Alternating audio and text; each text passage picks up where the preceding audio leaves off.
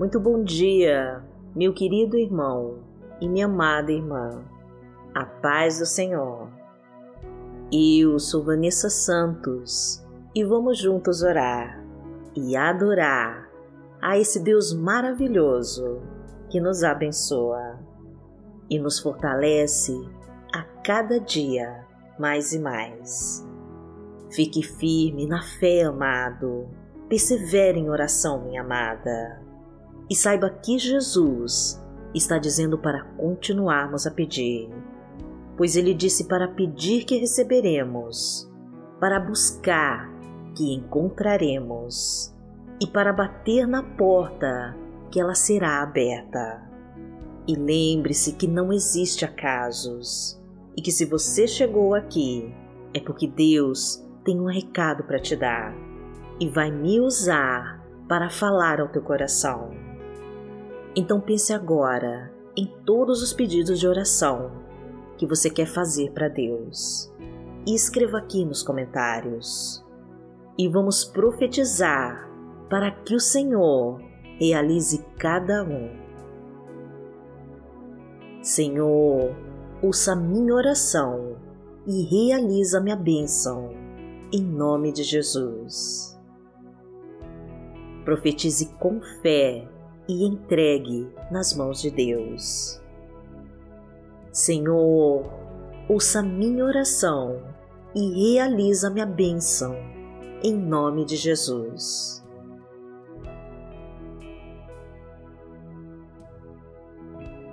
Hoje é terça-feira, dia 15 de junho de 2021 e vamos falar com Deus.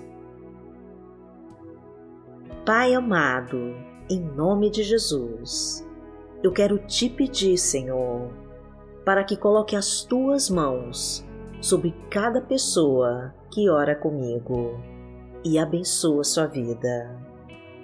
Entra com a tua providência, Pai querido, e faz a tua obra, Senhor.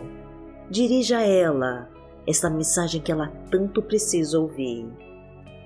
Que neste momento a tua palavra ilumine a sua mente e toque o seu coração, e que eu possa ser o canal de bênçãos para que a tua glória seja derramada sobre ela.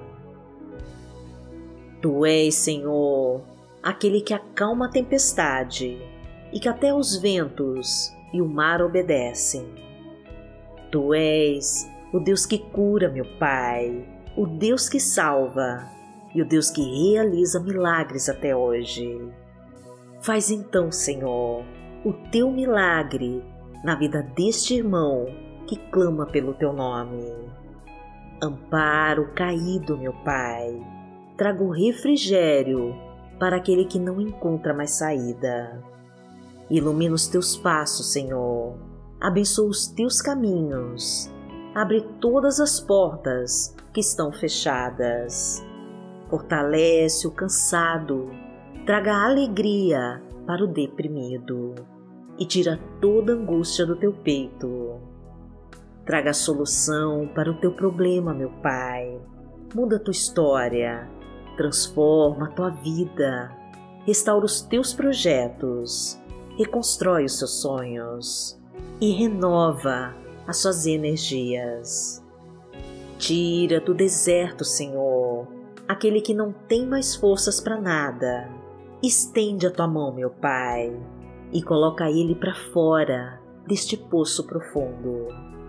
Ó oh, Pai amado, venha com tua bênção agora e coloca um fim neste sofrimento. Salva-nos e nos leva para os teus rios de águas vivas e cristalinas, porque tu és o nosso Pai. Pai nosso que está no céu, santificado seja o teu nome. Venha a nós o teu reino, seja feita a tua vontade, assim na terra como no céu. O pão nosso de cada dia nos dai hoje. Perdoai as nossas ofensas, assim como nós perdoamos a quem nos tem ofendido. E não nos deixe cair em tentação, mas livrai-nos de todo o mal, porque Teu é o reino, o poder e a glória, para sempre. Amém. Pai amado, em nome de Jesus, nós nos rendemos a Ti.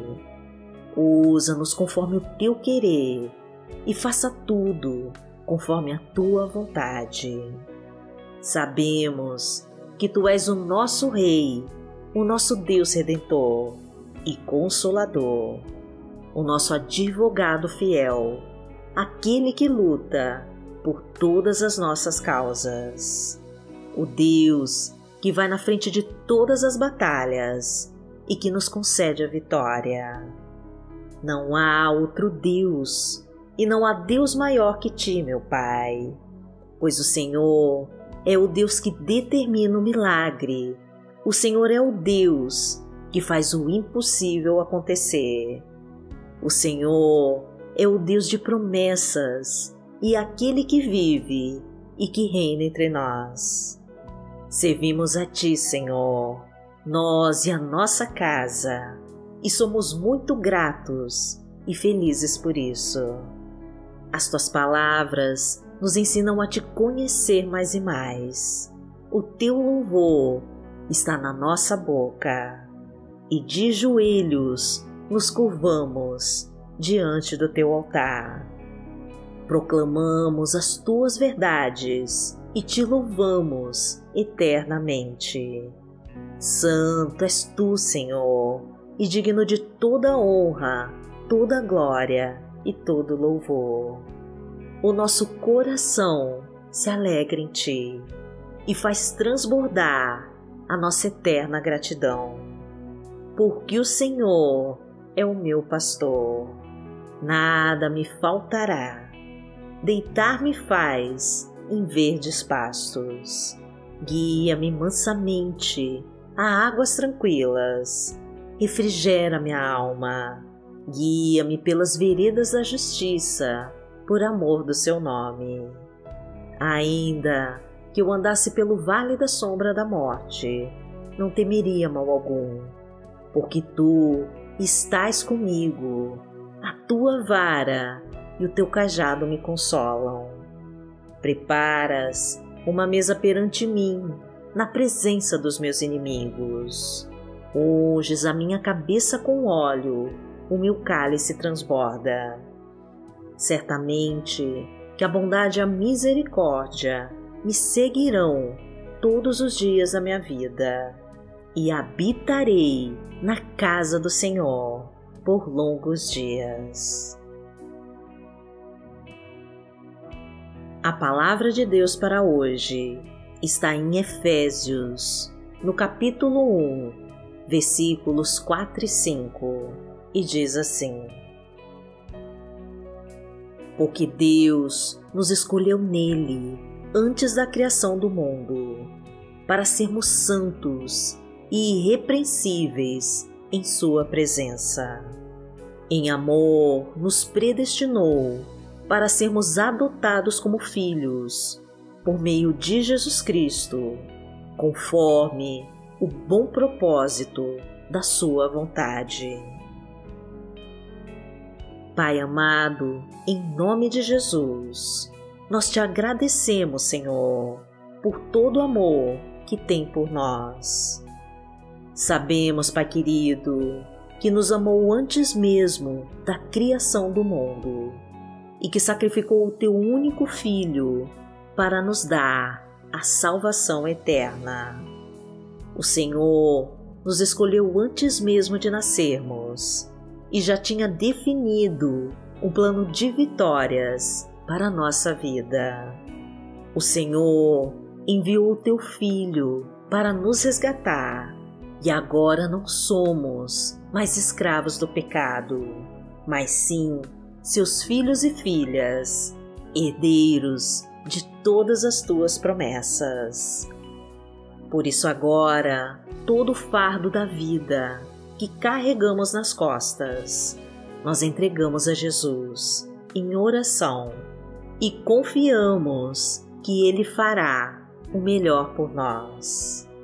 porque Cristo, que está assentado à direita do trono do Pai, lá no céu, nos enviou o teu Espírito Santo para estar conosco e em nós. Jesus intercede por nós com o Pai e nos concede através do Espírito Santo as tuas bênçãos. Somos selados em Cristo Jesus com o Espírito Santo da promessa. O Espírito Santo de Deus habita em nós. E é assim que Deus compartilha o seu poder conosco. A obra de Jesus na cruz é o alimento da nossa salvação. E ao entregarmos a nossa vida a Ele, nós estabelecemos um relacionamento vivo com Deus. E o Espírito Santo passa a habitar em nossos corações.